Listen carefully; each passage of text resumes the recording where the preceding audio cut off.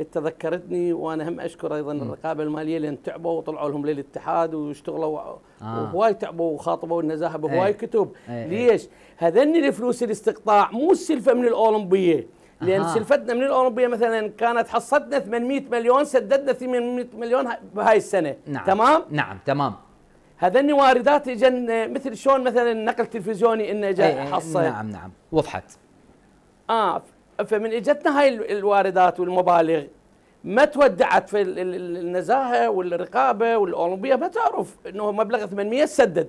هذاك خارج هذا الواردات الأخرى هاي تسمى. نعم. المفروض هم تبيها حسابات ختامية وتسدد وتفتح بها سجلات وأبواب. والرقابة المالية شايرة ذلك. عندها كتب, قالت لم تستوفي.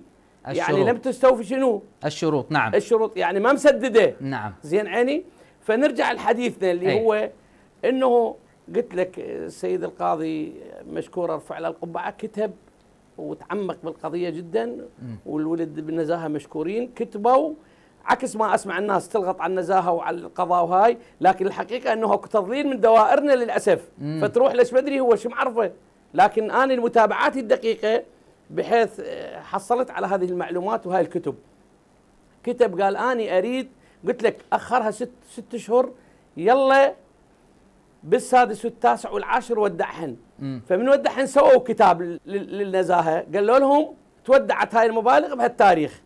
فالقاضي عرف إنه هذني بال 14 تودعن شو وقت؟ بال 18 بال 18 اي إيش سوى كتاب قال لهم أريد نسبة الضرر اللي لحقكم من هاي المبالغ.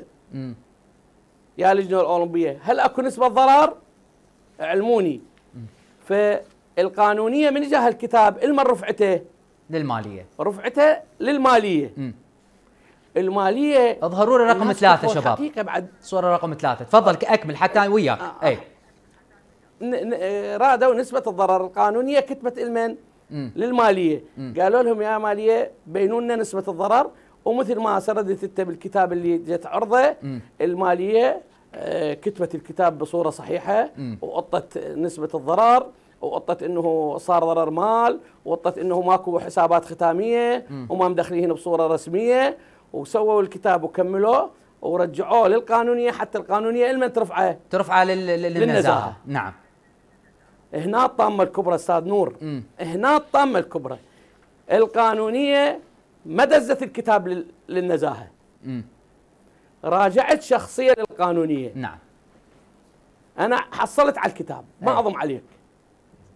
فاجيت للقانونيه وصلني باص إنه القانونيه ما راح ترفع هذا الكتاب.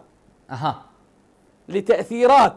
فما أعرف شنو التأثيرات وقلت لك أكو أنا اليوم ما أريد أسمي اعطي فرصة وب- وبعدين اعطي على مثلنا بالجنوب اعطينا بخدة. مم.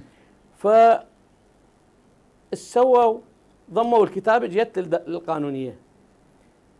تكلمت مع القانونية قلت لهم هذا الكتاب وتفضلوا هذا صادر من المالية لكم ترفعوه للنزاهة. ليش مأخرين ما ترفعوه؟ ها إحنا راح ندز وراح نودي الكتاب وهسه ندزه وأسبوع وأسبوعين. أستاذ شنو الضرر؟ أنت رفعت اليوم إجاك الجواب؟ بدقائق أنتم بالضبط شهر وستة مخاطبات أيام. داخلية. التأخير. شهر ستة أيام على صدور ال- القراءة ال- الكتاب الم- المالية. آه. شهر وستة مع, أيام. مع العلم نعم.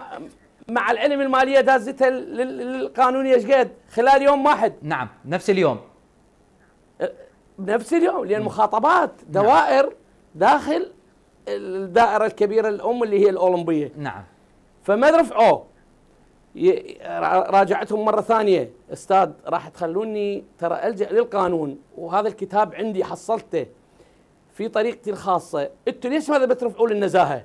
لأن يعرفون هذا الكتاب. إذا رفع للنزاهة راح يصير بها قرار مم. لأن النزاهة والمحكمة راح تقرر على هذا الكتاب وراح نعم. تدين المتهمين طيب فبصراحة هنا أستاذ ظليت في ريبه وشك وكان شكي في مكانه إنه ال- القانونية سوت غيرت الكتاب هذا ودزت كتاب اللي ثاني هو رقم أربعة اللي نعم. هو نعم أحسنت اللي تقول بيه شو تقول؟ تقول ودع بس ودع. 18 نعم. فقلت لك بس ودع فقلت لك النزاهه والقاضي نبيه.